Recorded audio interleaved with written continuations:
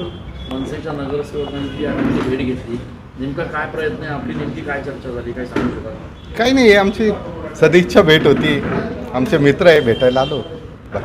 तर महापौरपदाच्या निवडणुकीच्या अनुषंगाने काही चर्चा झाली काही? नाही नाही ही आमची वैयक्तिक भेट होती. आमचे मैत्रीचे संबंध आहे. सलीम मामा आमचे चांगले मित्र आहे. आनंद सूर्यवंशी आमच्या गाववाले. थोडं वैयक्तिक काम होतं आणि आम्ही आलो होतो.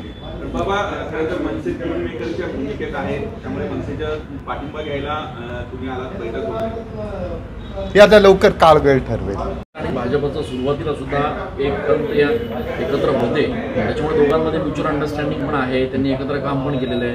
त्याच्यामुळे जर असं काही समीकरण पुढे आलं तर त्या संदर्भात तुम्ही वरिष्ठांना कळवाल का? अनुकूलता आहे का वरिष्ठांना? तिच्यामध्ये आता वरिष्ठ पातळीवर काय निर्णय व्हायचा तो होईल. परंतु मला वाटतं लोकशाहीमध्ये काही अशक्य नसतं.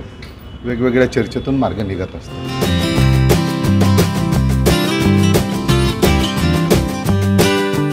नाशिक महापालिकेमध्ये जे मध्यंतरी आपल्याला मनसे भाजप पॅटर्न बघायला मिळालेलं होतं. अशाच पद्धतीनं पॅटर्न पुन्हा एकदा नाशिक महापालिकेत बघायला मिळेल?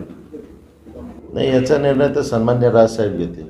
आम्ही नाशिकची जी समीकरणं आहे आम्ही रविवारी प्रमुख नेते जाऊन मुंबईमध्ये साहेबांना ही सर्व सविस्तर माहिती दिलेली आहे. सन्मान्य राजसाहेब आम्हाला बोलले की मी तुम्हाला माझा निर्णय कळवेल. एकवीस तारखेला आपण सगळेजण एकत्र भेटूया.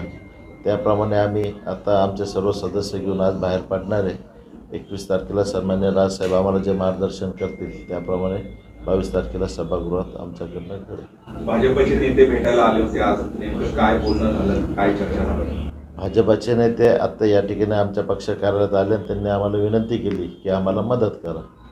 पण आम्ही त्यांना सांगितलं की सन्मान्य राजसाहेब याच्यावर निर्णय घेतील. मागची परिस्थिती वेगळी होती. सध्याची परिस्थिती वेगळी आहे. मध्यंतरी मागचे समीकरण जे होतं त्याच्यानंतर आपण लोकसभा विधानसभेच्या निवडणुकीला सामोरं गेलेलो आहे.